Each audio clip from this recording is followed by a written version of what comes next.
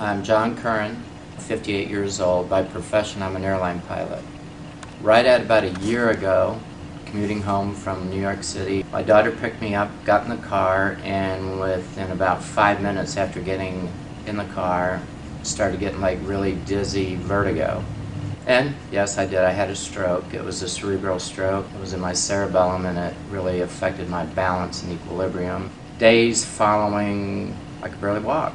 I had a hard time focusing. I was just really wobbly. I couldn't shut my eyes. If I did, I'd fall over. And I do have one passion other than flying and my family. I have one passion is skiing. Months progressed and I had like, to me, two choices.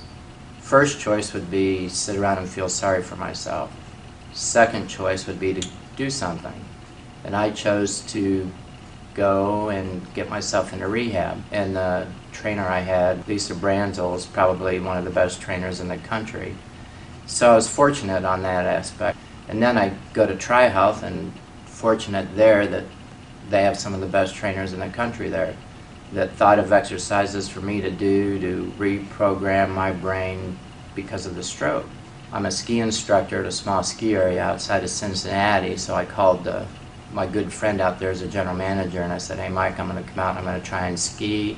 I talked to my doctors and they said, yeah, go for it, but be sure to wear a helmet. It was uh, very difficult for me because I was afraid I was going to fail and I wouldn't be able to do it and that would make me feel worse, but the opposite happened. I was able to do it, and after about 15, 20 minutes, muscle memory took over, and away I went. Like all other sports, baseball, football, soccer, basketball, they always have a preseason training program.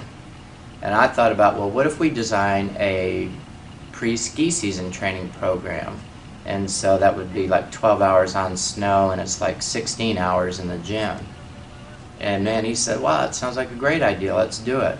I contacted a trainer, her name's Carly Snyder. In my opinion, she's one of the best trainers at TriHealth. After we talked about it, she became very excited about it. I wanted to give her a tool that she could use in the training program that would be ski specific. And I searched around and I came across the uh, Pro Ski Simulator. And I thought, wow, that's exactly what I want personally, and I think it would be a good tool to have in our ski training program.